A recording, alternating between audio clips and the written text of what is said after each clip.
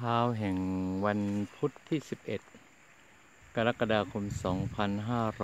2561 นะครับ ผมมานอนที่ภูล้อมข้าวเมื่อคืนนี้ เพื่อพักผ่อนด้วยแล้วก็ปฏิบัติธรรมกรรมฐาน ตื่นเช้าฝนตกตั้งแต่ตีสองครับเมฆหมอกก็ยังมืดครึ้มอยู่ วันนี้คงจะตกทั้งวัน ยอดเขาภูพานมีเมฆเมฆฝนคลุมขาว อาจจะไม่ชัดนักแล้วครับ นกยังร้องอยู่แต่ที่อดจะชื่นใจไม่ได้ ถือเป็นนิมิตหมายของการปฏิบัติธรรมนะครับลงกินน้ำสองตัว มาพาดผ่านเกือบครบโค้งนะครับ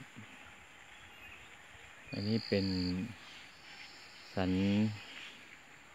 ภูสูง สันสูงภูไม้รวกนะครับ ขึ้นตรงนี้พอดี ผมภาพที่เห็นเนี่ยอาจจะไม่สวยเท่ากับสายตาที่มองอยู่ตัวนี้นะครับ แล้วฝั่งนี้ก็เป็นตาดไฮใหญ่ครับตาดไฮใหญ่ก็มีเมฆฝนโปรยลงมา เสียงน กร้อง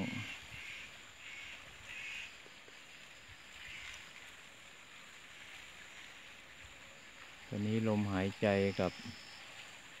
เวลาผมพูดไปนี่มีไอหมอกออกมาจากปากจากลมหายใจครับ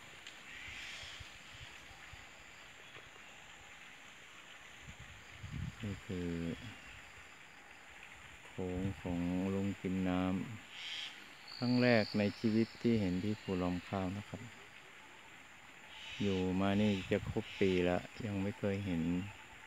ลุงกินน้ำคู่ที่ภูลอมข้าวเลย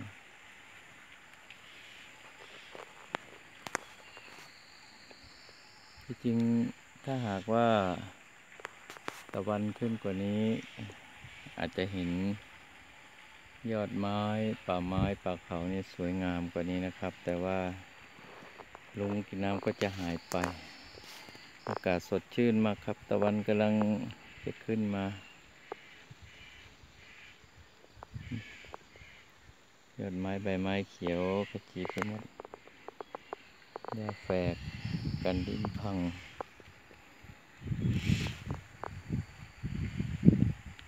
เสียงนกร้องกระตึกกระโกมที่ท่านได้ยินนี่แหละครับ โอ้ สวยมาก ไม่รู้จะหาคำใดมาเปรียบปาน